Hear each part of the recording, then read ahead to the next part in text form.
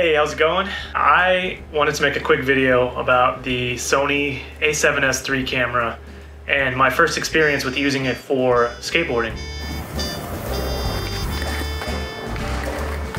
I've been filming skateboarding for a long time and I have used this, which is the Sony FS700 for probably the last six years.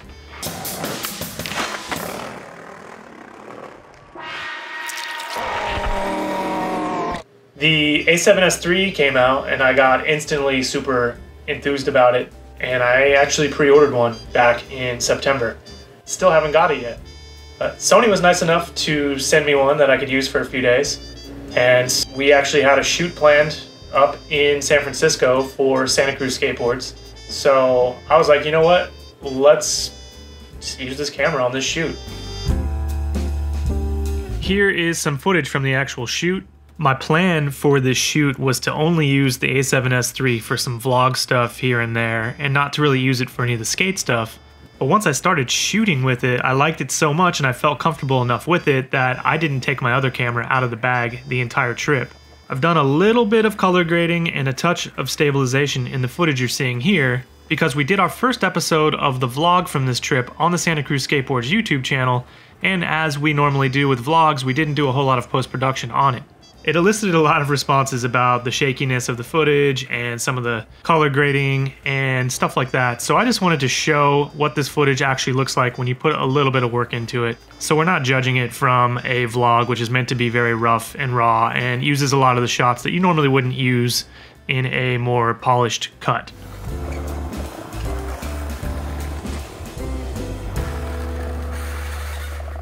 First off, I did not use a microphone on the camera. I just used it as is because I have this Sony shotgun mic that I purchased to use with the Sony a7S III. The mic actually arrived way before the camera, but I didn't use it on the shoot because I realized pretty quickly I would need a handle and if I was able to get any sort of good fisheye shots with the camera. I borrowed the Easy Handle V2 from my buddy Brendan Bill and the way that this handle mounts onto the camera, it wouldn't let me use the hot shoe that is required to use this microphone. So I was like, you know what, handle, no good audio, or good audio, and I can't really use the camera for what I want to use it for because I don't have a handle. So went with the handle, and to be honest with you, the internal mic on the camera turned out to be way better than I thought it would. There's a couple situations where it was super windy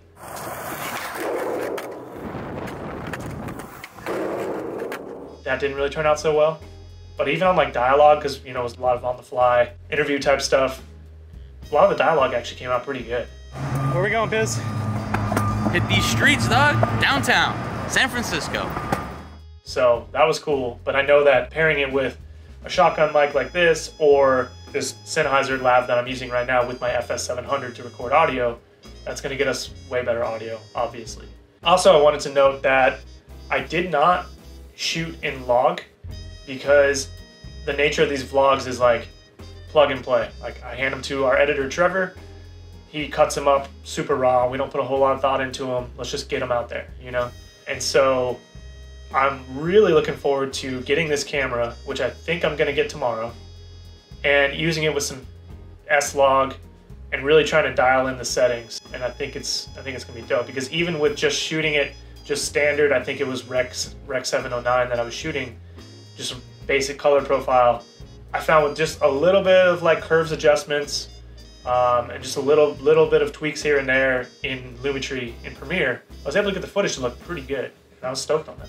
Like I said, using this camera, I really did not plan to use it for as much as I did, but I liked it so much and I felt comfortable enough with it that I was like, you know what, let's just go for it.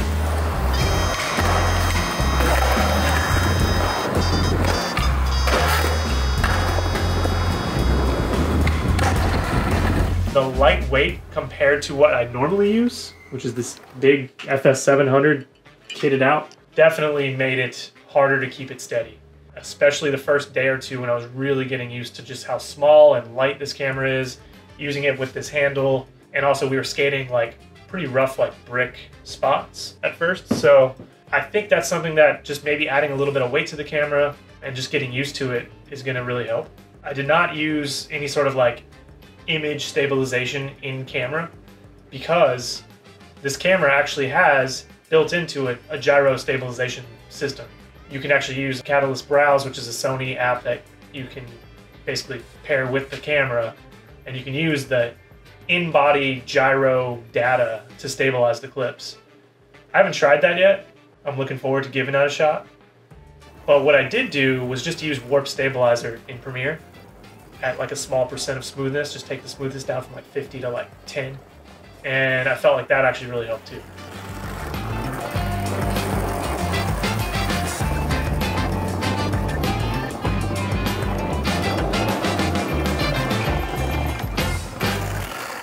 They also sent me a 12 to 24 millimeter fisheye. So really looking forward to trying that out. I tried it out at Soma Skate Park. Here's some footage of it. It's also in that vlog I mentioned on Santa Cruz Skateboard's YouTube channel. I thought this lens was pretty cool. It did kind of have that weird kind of, I don't even know, not anamorphic, but just kind of strange look to it that I wasn't really feeling. And you know, that also might just be some stuff that I needed to mess around with a little bit more, get the settings and get the focal length just dialed in perfectly. But for the rest of the shoot, I ended up just using this, which is my Canon 8 to 15 millimeter fisheye that I normally use. And I felt like once I started using that lens, it kind of helped me get the results I was used to getting as well. I like to have a little bit of vignette when I do skate stuff, especially with Santa Cruz. It's just kind of like the look that we've been running with for a few years now actually longer than that. But uh, yeah, it's uh, some people hate it, some people love it, but I personally like it. It reminds me of like old kind of VX1000 standard definition vibes, and so that's why I run with that. But I was able to achieve that same look with the Sony a7S III and my Canon 8 to 15 millimeter.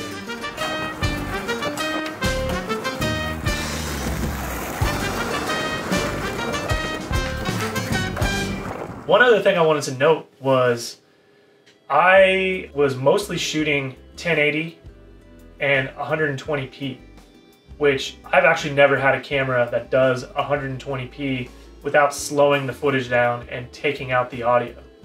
This camera, FS700, you can do 120 frames per second. You can even do 240 frames per second, super slow-mo with the uh, S&Q mode. But it automatically slows the footage down for you and you don't get the audio. Well, this Sony a7S III, you can actually shoot 120p and it just plays in normal motion and you have all your sound. But if you want to slow it down in post, you can do that and it's really smooth and, and dope.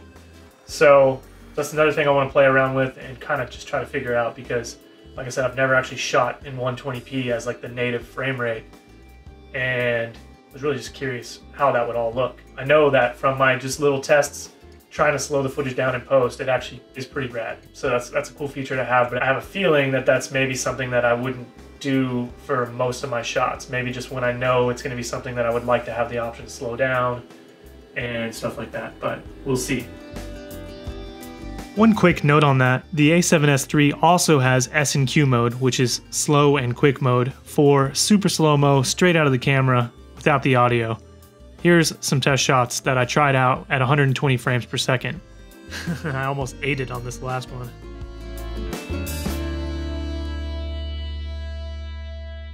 All that being said, I'm really looking forward to getting the camera myself, going back out, trying some different settings, seeing what works best. I know it's a beast of a camera, and uh, really excited about it. I will do some more videos on this once I get the camera and start to play around with it a little bit more. Let me know if there's anything about this camera with skateboarding or without skateboarding that you would like to know and I'll, I'll, try to figure it out. But there's a lot of really good videos out there about the technical specs of this camera.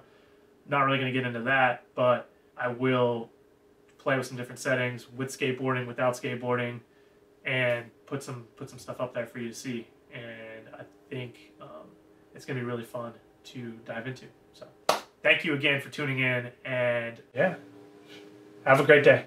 Peace.